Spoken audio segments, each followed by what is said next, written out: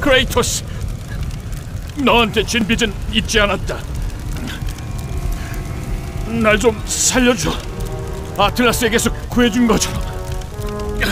나중에 꼭 크게 꼭 보답할게. 내게 보답하고 싶으면 올림푸스의 성화가 어디든지 말해라. 성화? 넌 제우스를 이길 수 없어, 스파르탄. 그렇게 까불다간 죽게 될 거야. 너 따위 것이 내 걱정을 하는 거냐, 헬리오스. 모두 다 필요 없다. 태양의 힘을 느껴보아라.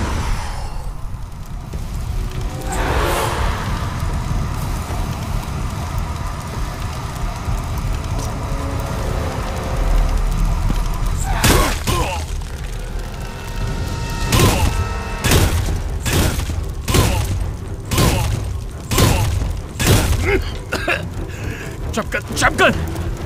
내가 제우스를 죽일 방법을 알려줄게.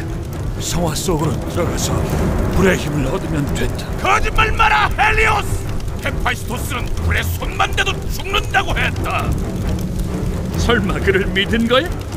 그 미추광이는 올림푸스에서 쫓겨났어. 그렇기 때문에 그를 믿는 것이다. 날 죽여도 제우스는 못 찾을 거다. 그건 네 생각이니. Fool!